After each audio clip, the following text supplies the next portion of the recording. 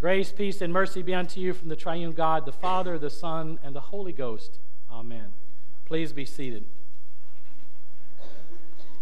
So, our text for this morning comes from our gospel reading from John chapter 4, and this idea of living waters. This spring that's being planted inside of us that will well up, as Jesus says, into life eternal. If you've never been around a natural spring, it's an amazing thing to see. If you, if you find one that you just happen upon, you'll see the water bubbling out of the ground. Where I come from, it's not uncommon for people to look for them. I think some people still divine, but I've never done that. But we do look for them, and I know in a couple of times when I was a young boy, uh, my dad was looking for springs on the property to have water to feed the cattle. And so we would find them, and you would kind of dig a couple of holes in the ground, and you would see this water start to just come forth out of the ground. It would bubble up. Once they had found these, they would uh, come in with uh, equipment and dig out a place so the water would have a place to collect and so that the animals could feed. We did have one that was a natural source that uh, was on some property we had. We didn't have to dig, it was there.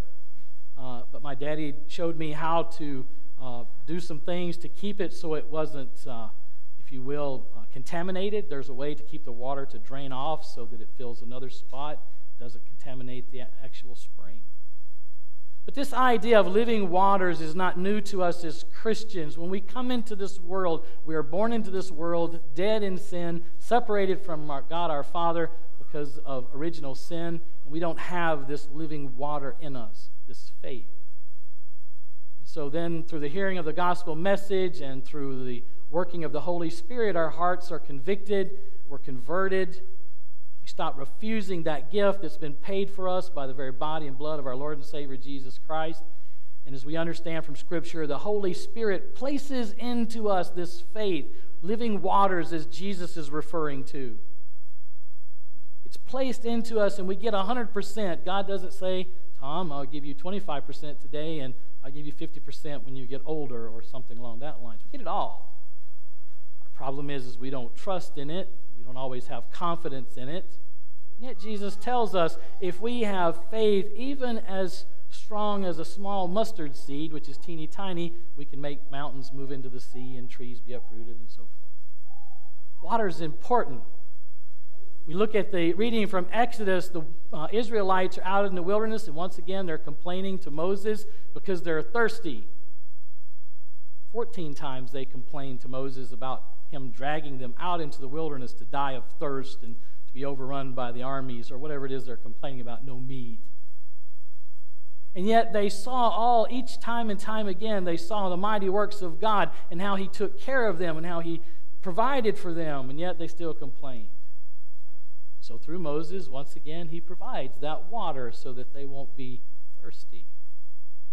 Our epistle reading is very prevalent to what's going on. We have this Samaritan woman at the well, and Jesus is telling her that he can give her living water so she will never thirst again, and that got her attention. Why?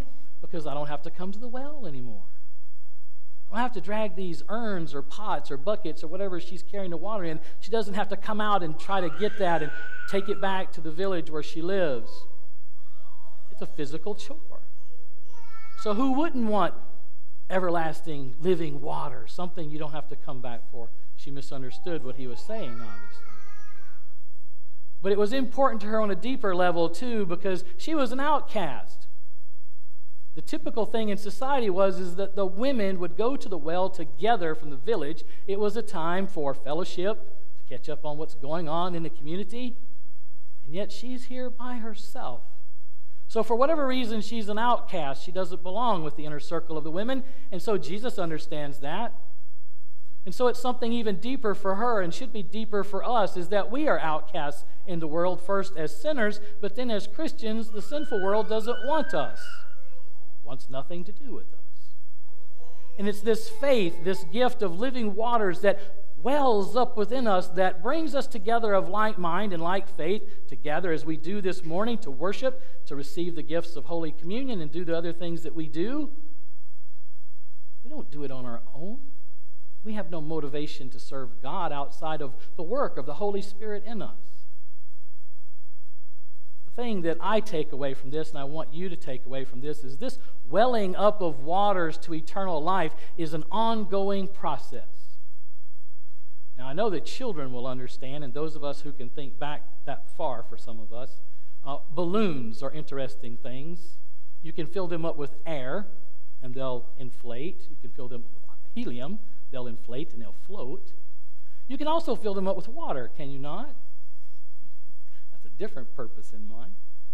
But at some point, if you continue to place, our sand, you can put sand in the balloons. It doesn't have to be liquid or air or gas.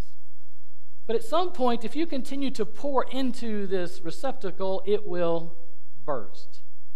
It'll stretch, it'll give, but it has a point in which it will no longer be elastic. It stops and it explodes. And that's what Jesus wants us to understand about this idea of faith, these living waters in us. He has put this into us, and it's not something to be stagnant. It's not something to cap. It's not something to ignore. It's something that should be building inside of us to a point where we want to share. We want to tell people the good news of Jesus Christ. When I was a kid, I don't know if they still have them, there were these rockets you could buy, and you would put water into them, and there was a pump, and you could pump it up with air, and at some point it would do the same thing as the balloon. It wouldn't explode, but the air pressure would have it separate, and then it would lift off and spew water everywhere. That's what this idea about faith is. Unfortunately, as human beings, we live in a world that is broken, it's sinful, we know this, and that affects how we deal with our faith. Does it not? On a daily basis. Something tragic happens, and now you're not focused on the faith anymore. You're not focused on your relationship to Christ. You're focused on this terrible thing and how do I fix it? There's the first problem. How do I fix it? And we ignore it. Some people ignore it to the point to where it dries up and it's not there anymore. It does happen. It reminds me of the TV sitcom The Beverly Hillbillies I used to watch as a kid.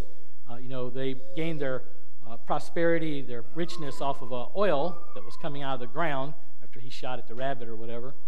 And they plugged that hole. And there was an episode where something happened. Somebody went to move the plug for some reason, and there was no oil coming out. It was empty. It was just a hole in the ground. I don't remember what the details were. I think somebody had drilled in from the side and take, tried to take their oil and they fixed all that. But the point is, it's something that needs to be fed, not in the sense that we feed our faith and therefore it's active and, and, and does what it does. We feed it in the fact that we need to get in touch with God. So, in worship, we feed our faith. We hear the promises of God, we hear His word, and it reassures us that He is real, He is who He is, He cares for us, loves us even though sinners we are. We study His Word in Bible study to learn how to understand who we are as Christians and how we apply these teachings to our lives on a daily basis. And it continues to well up in us. We want more. We're not thirsty because we need to drink. We're thirsty because we want more. We want a closer, a deeper, richer relationship with Jesus Christ the one who lived, suffered, died, and rose for our sins. And it just keeps boiling up keeps boiling up. We don't want to not focus on it. We don't want to take attention away from it. We don't want to deprive it of what it needs, which is a relationship with Christ. We want to feed it. You've heard me say this. It's an analogy I use, and I think it's a good analogy. When I was a kid and my mama was making a cake, Never made a chocolate cake because we hated chocolate. And I loved her for that. But whenever she made a cake, I would watch. I'd go up to the edge of the counter and I'd watch her mix those ingredients together because the first time she did it, I learned that she saved me about a cup or a cup and a half of the dough, the batter. And that would not be a good thing by today's standards. We don't eat sugar.